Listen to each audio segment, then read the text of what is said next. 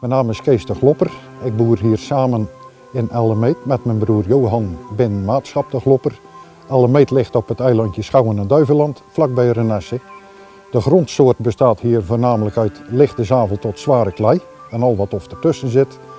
Het bouwplan bij ons bestaat hoofdzakelijk uit wintertarwe, gerst, graszaad, suikerbieten, aardappelen, zaaiuien, gele zaaiuien, plantuien en enkele keren net en een boom kwam in verleden ook voor.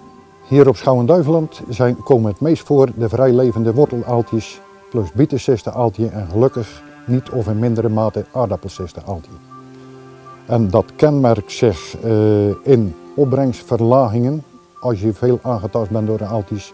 Het geeft een verzwakt wortelgestel en een verzwakt of een verslapt bladapparaat.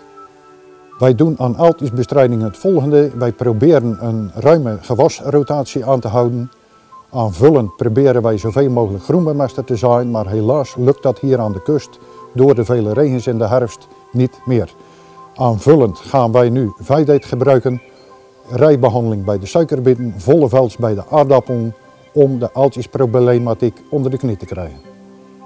Vijdeet bij ons kenmerkt het zich in toch hogere opbrengsten en dat kan variëren van een ton of 5 tot 10 ton in suikerbieten en een ton of 5 in de benkje aardappels. Het is gewoon aantoonbaar dat het een meeropbrengst geeft. Het gebruik uh, van Vijdeet uh, is zeer opmerkelijk. Uh, in het verleden moesten wij bieten zaaien bij Darden.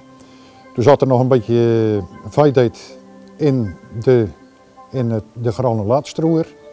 Bij het gebruik bij die andere boer kwam het toch voor de dag op een gegeven moment, zo half juni, juli, dat die bieten er frisser bij stonden. Dus het bewijs was toen toch wel geleverd.